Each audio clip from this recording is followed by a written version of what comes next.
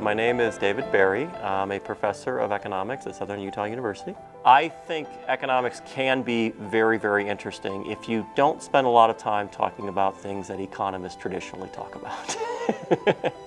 My main field of research is sports economics, so that, that's one class that I teach. I also teach a history class, and it's my job in that class, in the, in the time we're together, to convince them that this is interesting. So the economic history class is storytelling. There's no graphs, there's no math.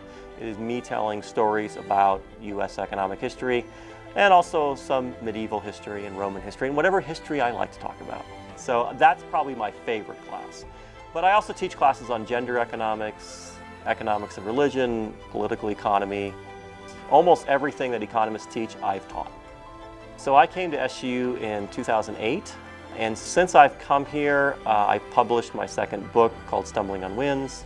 I just finished my first textbook called Sports Economics with Macmillan Learning, which is the leading textbook publisher. I've written articles for the New York Times, for Vice Sports, Time, The Atlantic. I currently write for Forbes. I've been interviewed by Russian Public Radio, which is a bizarre experience. Uh, and I've taught probably something like 2,000 students since I've come here. I like the fact that at a school like SUU, the professors work directly with the undergraduates. I like teaching undergraduates, so that's what I like. The fact that we interact with students, we get to talk to them, they get to talk to you. I think that's the big key feature of a school like this.